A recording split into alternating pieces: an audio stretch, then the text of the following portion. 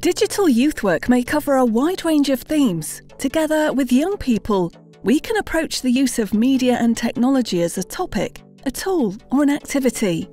Young people spend significant time interacting with peers and content on social media.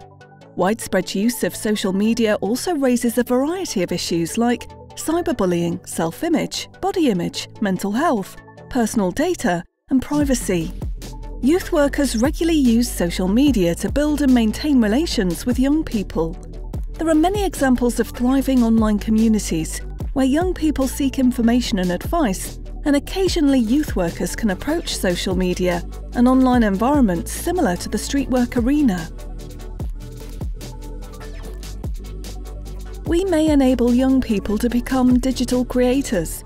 Online software, platforms, and apps allow editing, mixing, remixing, creating and publishing of text, audio, images, videos, or any multimedia combination.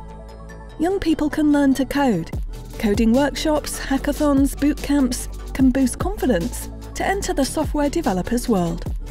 The spread of misinformation, conspiracy theories, the rise of populism can be countered with acknowledging and encouraging youth activism and participation online. Youth workers mobilise youth and together campaign for various causes online. Organisations use and create new e participation and decision making tools and platforms. Young people are very active in digital gaming, esports, and game culture. Games may be a good way to engage with youth and support them in building specific life skills, character qualities, and future careers. Youth workers seek to create a closer communication in gamers' communities that goes beyond just in game communication. Other examples include developing educational games, use of the alternate reality games as a learning method, and supporting young people in organising LAN parties. Young people can become interested in maker activities and learn a lot by tinkering with micro robots, playing with single board computers, or using simple electronic parts to assemble something creative and functional. Various organisations see benefits of a maker culture and create maker spaces to nurture creativity, problem solving, and collaboration.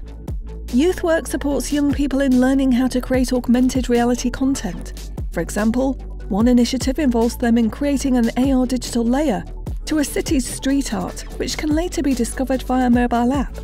There are organisations which subscribe to test the latest virtual reality sets in youth work programmes. Artificial intelligence and its impact may be another exciting theme to focus on. Highly personalised advertising algorithms, software on our phones, cars, and daily appliances are powered with artificial intelligence.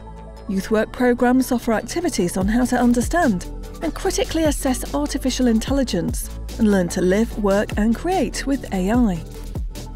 How can you work with these themes of digital youth work?